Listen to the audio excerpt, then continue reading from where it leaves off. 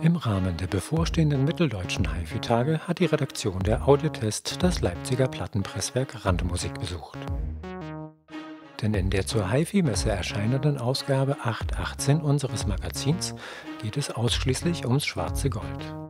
Wir haben allerlei Plattenspieler und natürlich auch einschlägiges Zubehör getestet. Außerdem werden wir mit freundlicher Unterstützung von Reichmann Audiosysteme und Music Hall Plattenspieler als erstes deutsches HiFi-Fachmagazin eine echte 7 Zoll Schallplatte als Heftbeilage präsentieren. Und wie diese Schallplatte im Werk entstanden ist, haben wir uns vor Ort selber angeschaut. Zunächst haben wir unsere Wunschmusik in digitaler Form angeliefert. Da wir uns für eine Single-Schallplatte entschieden haben, liefern wir zwei Titel, einen für Seite A und einen für Seite B. Diese wurden im hauseigenen Tonstudio gemastert und vor allem in puncto Dynamikumfang an das Zielmedium Vinyl angepasst. Aber auch der maximale Lautstärkepegel wurde hier definiert und die Daten in ihrem Frequenzspektrum optimal auf den Schneidvorgang vorbereitet. Das eigentliche Pressmaster für die Dateien entstand in unserem Fall im Direct Metal Mastering Schnitt über eine Maschine des Herstellers Neumann vom Typ VMS 82. Beim Direct Metal Mastering schneidet ein Stichel das vom Mastering-Mischpult kommende Audiosignal in Echtzeit in bekannter Wellenform in eine Kupferplatte. Damit die Kupferplatten während der Lagerung nicht korrodieren, werden sie tiefgekühlt. Die herausgeschnittenen Kupferreste werden von einer kleinen Saugvorrichtung entfernt. Da man für eine Schallplatte zwei Seiten braucht, benötigt es logischerweise auch zwei Master, deren Negative dann später in die Presse eingespannt werden. So sieht dann das Kupfermaster nach dem Schnitt aus. Der nächste Schritt in Richtung fertige Schallplatte führt über die Galvanik. Hier werden über ein mehrstufiges Verfahren mit Hilfe von elektrischem Strom und Chemie Negative unserer Master-Kupferplatten angefertigt. Dabei werden die Master zunächst sorgfältig gespült, dann in ein galvanisches Bad getaucht und unter Strom gesetzt. In diesem Bad befinden sich zudem auch Nickelkugeln. Dabei stellt das Nickel im Stromkreislauf den Pluspol dar und das Kupfermaster den Minuspol. Wird nun der Strom angeschaltet, so fließt er vom positiven zum negativen Pol. Dabei setzt sich Stück für Stück das Nickel auf dem Kupfer ab. Nach mehreren Stunden im Bad kann man die Nickelnegative vom Master ablösen. Jetzt müssen sie nur noch an die Pressform der Maschine angepasst werden und können in die Plattenpresse vom Typ Tolex Alpha AD1202 eingespannt werden.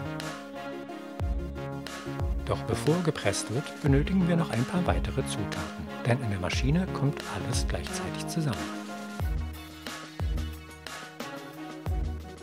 Schallplatten brauchen natürlich auch Labels. Damit diese bei den hohen Temperaturen, der Feuchtigkeit und unter dem Druck der Pressung nicht kaputt gehen oder die Farben verlaufen, werden sie zunächst gebacken. Außerdem brauchen wir natürlich noch den Hauptrohstoff der Scheibe, Polyvinylchlorid, also PVC, oder kurz Vinyl. Dieses lagert als Granulat und ist in allen erdenklichen Farben verfügbar. Wir sind beim klassischen Schwarz geblieben und haben zunächst einen Kuchen gebacken. So heißt der Rohklumpen, zu dem das Granulat stückweise zusammengeschmolzen wird. Über eine bis zu 200 Grad heiße Spirale wandert es im sogenannten Extruder nach oben, bis es die richtige Konsistenz hat. In der Pressmaschine kommt nun alles zusammen. In der Mitte der Kuchen, darüber und darunter die Labels und die Nickelnegative unserer Master. Eins von oben und eins von unten. Mit einem Druck von mehr als 100 Tonnen wird der noch warme Kunststoffkuchen in die Form gepresst. Damit er schneller abkühlt und sich leichter aus der Form lösen lässt, wird in der Maschine mit destilliertem Wasser gekühlt und gespült. Sobald die Platte fertig ausgehärtet ist, wird das überschüssige Vinyl abgeschnitten. Es kann theoretisch wiederverwendet werden, denn Schallplatten sind recycelbar. Pro Master-Negativ sind übrigens ca. 1000 Pressungen möglich, bevor die Abnutzungserscheinungen zu groß werden und die Qualität der Pressung leiden würde. Ein Pressvorgang dauert dabei in der Regel zwischen 20 und 40 Sekunden.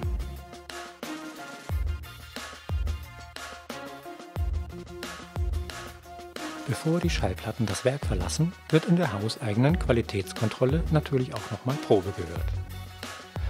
Sind die Platten freigegeben, fehlt eigentlich nur noch die Verpackung. Das Material dazu kommt aus der Druckerei. Gefalzt und geklebt wird aber hausintern über eine riesige Plattencovermaschine. Das Eintüten der fertigen Platten in die Sleeves und Cover wäre maschinell zwar mittlerweile möglich, ist aber in unserem Fall wiederum echte Handarbeit. Fertig. So sieht sie dann tatsächlich aus, die fertige Schallplatte. Und wer wissen will, was wir darauf gepresst haben und wie es sich schlussendlich anhört, oder wer noch mehr über Schallplatten und über Plattenspieler und Zubehör erfahren will, dem empfehlen wir einen Blick ins neue Audiotest-Magazin oder einen Besuch auf den Mitteldeutschen HiFi-Tagen in Leipzig am 17. und 18. November 2018.